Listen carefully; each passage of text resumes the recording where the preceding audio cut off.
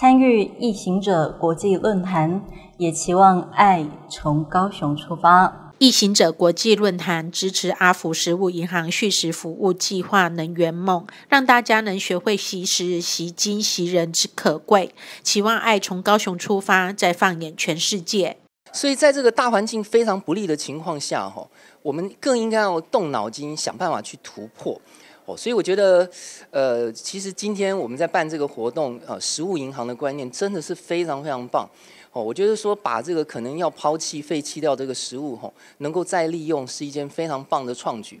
那我我们在呃，比如说以读册来讲好了，我们在九年前开始成立网络书店，我们其实也是本着这样的一个呃东西不要丢掉，吼，能够再循环的概念，所以我们彭茂书除了买新书之外，更是要拿二手书出来买跟卖。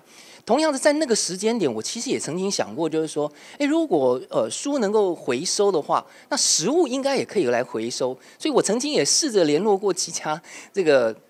叫餐厅了哈，只是因为人单势孤哈，就是一时半刻也没有那个能力去发动比较大型的这个活动。我只提出，哎，食物如果不丢掉，特别是很多自助餐厅了哈，特别是饭店啊，这食物是很好的。如果这个丢掉，真的太可惜。其实可以真的养活哦，这个台湾还是有很多弱势可怜的人哈。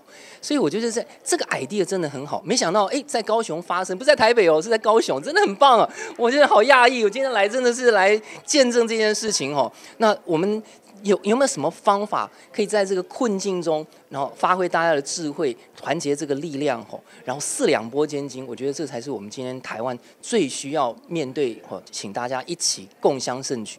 最棒的一个课题，好，这个也只是一个起点。我相信后续还有很多公益活动，我们应该可以一起来努力哈。异行者国际论坛点亮光明与爱同行，二零一八年致力利他的异行实践，大家一起欢喜快乐，共享温暖，相互扶持，共创人间真善美而努力。十方新闻黄慧茹、黄凯杰高雄采访报道。